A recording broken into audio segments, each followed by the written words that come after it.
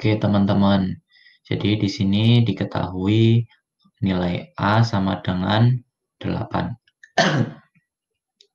Dan eh, yang ditanyakan adalah apakah hmm, persamaan mutlak 4x sama dengan 8 itu eh, nilai yang memenuhinya itu adalah x sama dengan 8 atau x sama dengan minus 8.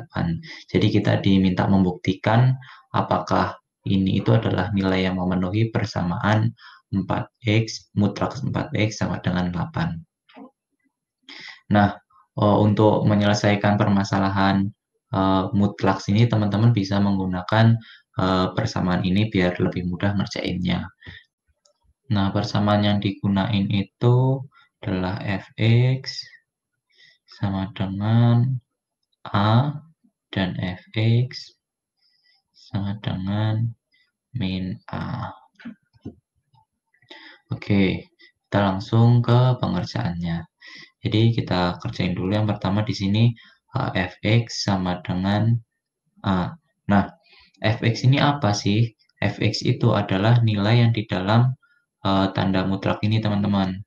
Jadi kita di sini bisa tulis fx sama dengan min A sama dengan 4x sama dengan hanya berapa?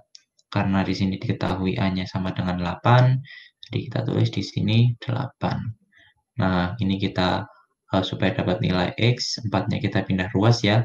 Kalau perkalian, perkalian kan kalau pindah ruas jadinya pembagian kan. Nah, jadi gini, bisa tulis X sama dengan 8 per 4. Nah, 8 per 4 sama dengan 2. Oke, yang persamaan satu uh, udah selesai. Kita ke yang persamaan kedua, yaitu fx sama dengan minus a. fx-nya masih sama ya teman-teman.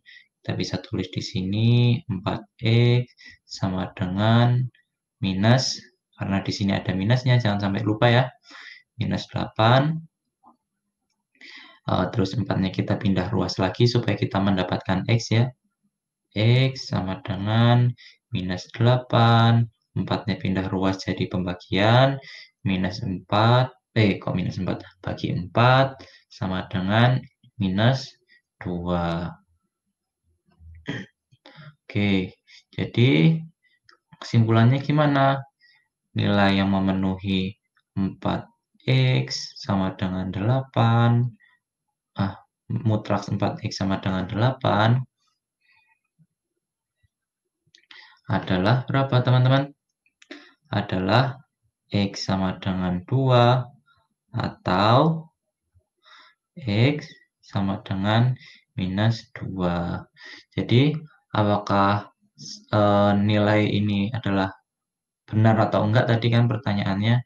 Jadi, jawabannya adalah salah. Yang benar berapa? X sama dengan 2 atau X sama dengan minus 2. Oke, teman-teman.